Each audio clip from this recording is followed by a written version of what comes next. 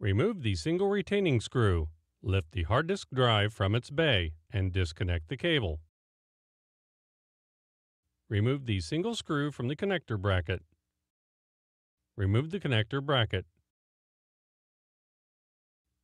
Disconnect the hard disk drive cable and remove it.